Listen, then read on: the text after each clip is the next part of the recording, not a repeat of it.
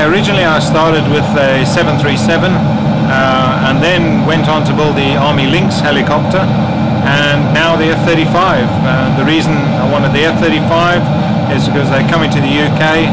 Uh, the uh, Air Force has bought some and they've just arrived at Marham and we are actually starting out when we start our flights we start out from Marham.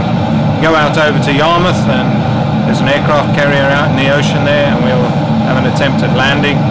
Uh, there's some refuelers around as well, so we can have a go at refueling.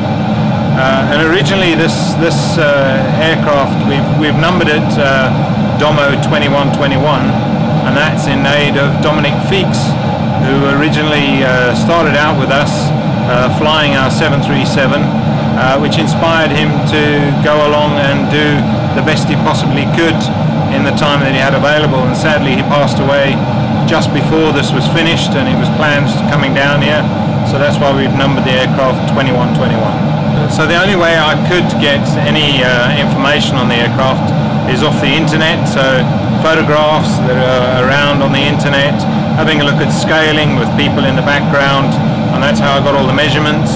Um, there's quite a lot about the aircraft on the internet so you can obviously get all of that information. Some of the landing speeds are what some people have written down and I'm trying to use those for landing speeds and takeoff speeds and you know that's how we do it. This aircraft is way easier to fly than a 737. A lot of it's all computerized and it does a lot of the work for you uh, and therefore the pilot can focus on his job at hand so it, it, it frees him up to do some of the important jobs that he'll be sent out to do. This is a touch screen uh, so the pilot can configure the uh, main instrument panel exactly how he wants it for the mission that he's flying. And you can get all the information up on this screen. So there's uh, I think there's about 22 switches that's all in the rest of the cockpit. And most of it's all on the uh, touchscreen display.